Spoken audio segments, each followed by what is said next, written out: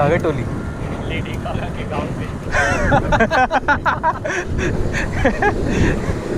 हाँ, एक्चुअली वो इंडियन और यहीं से लेडी गागा लेडी गागा का घर। बहुत धूल रे।